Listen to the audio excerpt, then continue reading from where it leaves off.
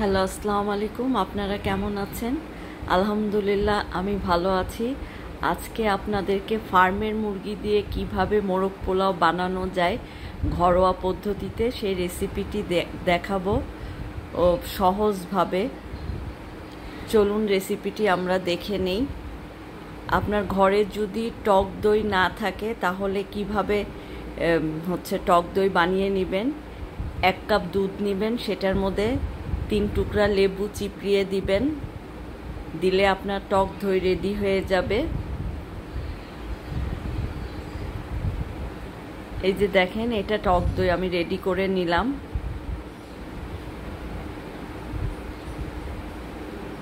তারপরে এটাকে একটা পাত্রে ঢেলে নিয়ে এর মধ্যে মুরগি ম্যারিনেট করে রাখব।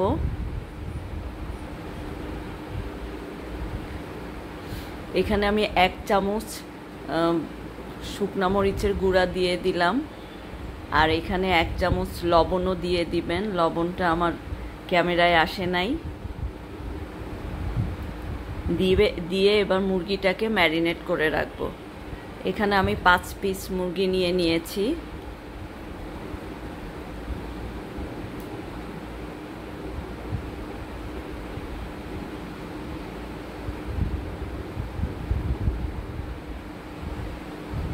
এবার চুলায় একটা কড়াই দিয়ে এক কাপ তেল দিয়ে দিলাম। তেলটা গরম হলে ডালচিনি, এলাচি আর তেজপাতা দিয়ে দিলাম। এটাকে একটু ভালো করে নাড়িয়ে নিতে হবে।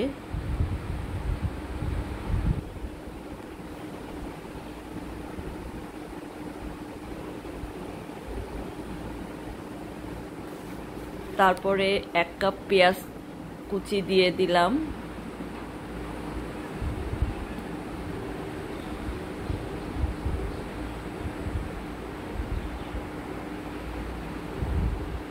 পেঁয়াজটাকে ভালোভাবে নেড়ে ভাজতে হবে। হালকা একটু ব্রাউনিশ কালার আসা পর্যন্ত পেঁয়াজটাকে ভেজে নিতে হবে।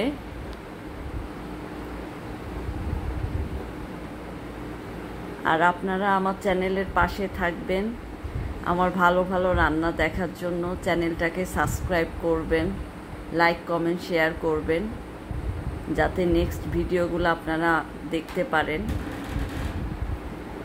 এখানে আমি এক টেবিল চামচ আদা বাটা আর এক টেবিল চামচ রসুন বাটা দিয়ে দিলাম। এবার আদা রসুনটাকে ভালোভাবে ভেজে নিতে হবে যাতে কাঁচা একটা স্মেল না আসে।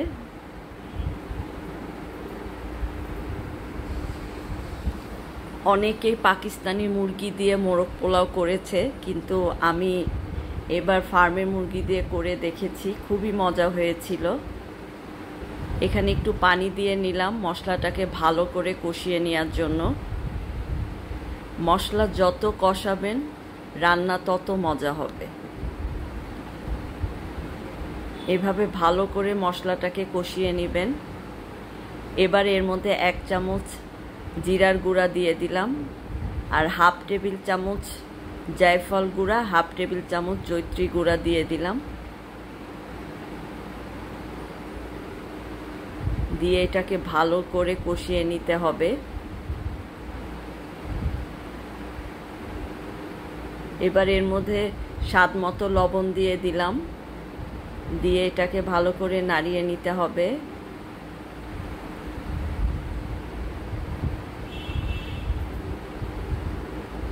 এবার দুই টেবিল চামচ বাদাম বাটা দিয়ে দিলাম।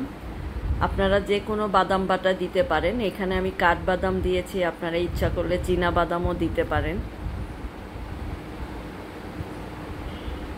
দিয়ে আবার মশলাটাকে ভালো করে কষিয়ে নিতে হবে। আপনার মশলাটা কষানোর উপর রান্নার টেস্টটা নির্ভর করবে।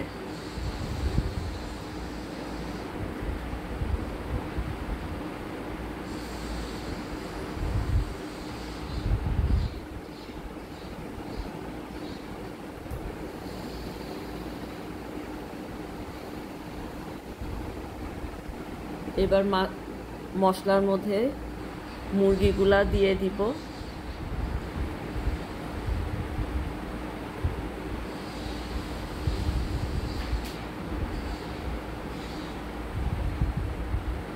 দিয়ে এটাকে নেড়ে চেড়ে নিতে হবে।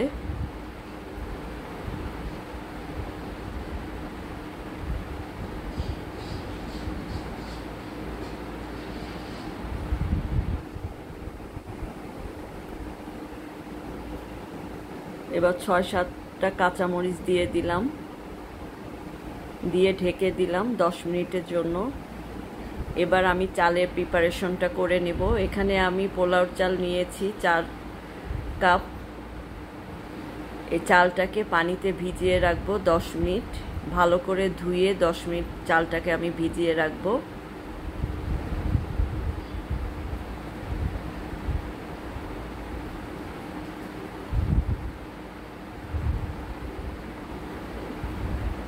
এবার দশ মিনিট পর চিকেনটার ঢাকনা খুলে নাড়াচাড়া করে নিব।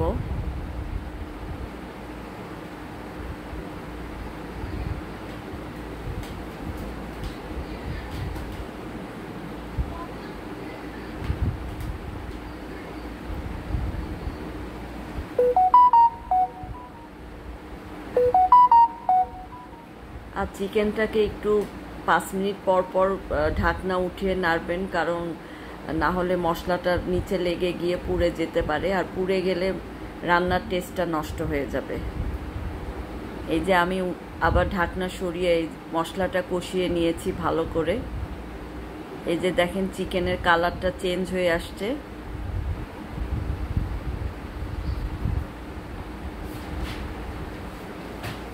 তেল উপরে উঠে আসছে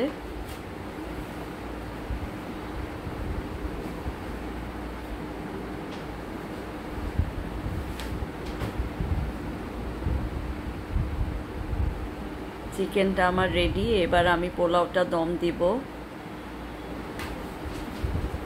এখানে আমি ডালচিনি, এলাচি আর তেজপাতা দিয়ে দিলাম।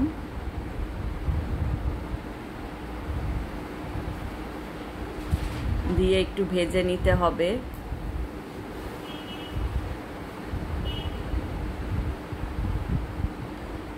এবার পোলাও চালটা ঢেলে ভালো করে ভেজে নিতে হবে। যেহেতু আমার মুরগির মধ্যে সব ধরনের মশলাই আছে এই জন্য আর এখানে কিছু দিলাম না।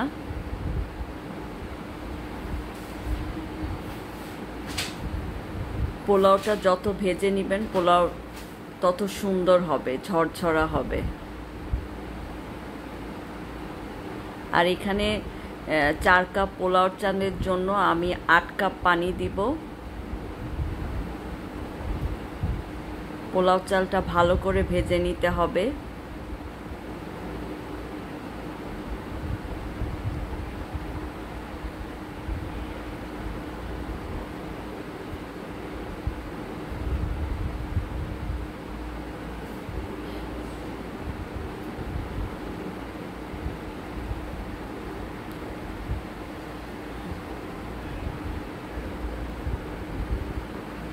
এবার ফুটন্ত গরম পানি দিয়ে দিব।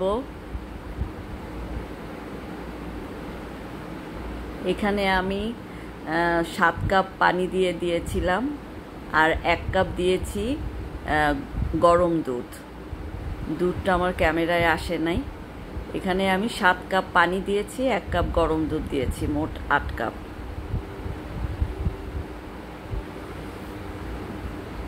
আর আপনারা সব সময় বাজারে গেলে চেক করে নেবেন যে চালটা নতুন কি পুরানো। যদি নতুন চাল হয়, পানি একটু কম লাগে, আর পুরান চালে পানি বেশি লাগে। এখানে আবার পাঁচ, ছয়টা কাঁচামরিচ দিয়ে দিলাম। স্বাদ মতো লবণ দিয়ে দিলাম। আর লবণটা সব সময় সঠিকভাবে দেওয়ার চেষ্টা করবেন। লবণ কম বেশি হলে টেস্টটা অন্যরকম হয়ে যাবে।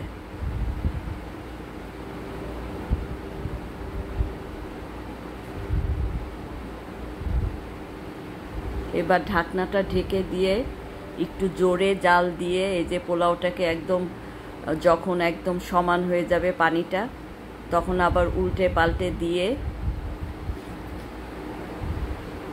পোলাওটাকে উল্টে পাল্টে দিয়ে এর মধ্যে চিকেনটা ছেড়ে দিব।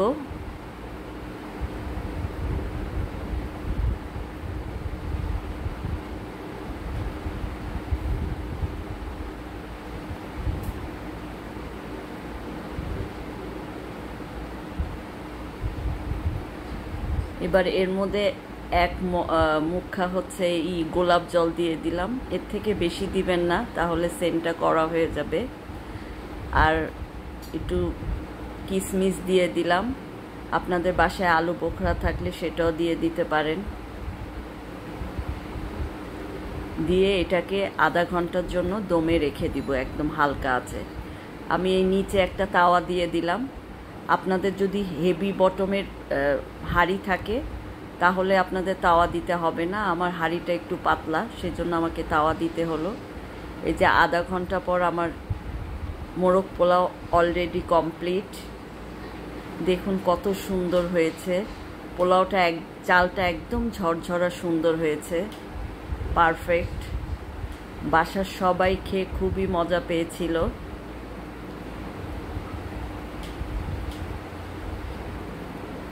এ দেখেন, চালটা একদম ঝরঝরা হয়েছে।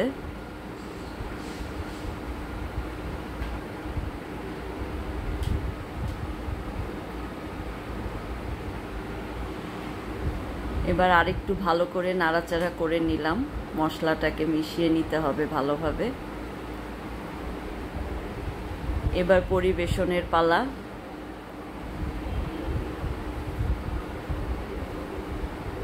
আশা করি রেসিপিটা আপনাদের ভালো লাগবে। আর আপনাদের ভালো লাগাই মানে আমার সার্থকতা।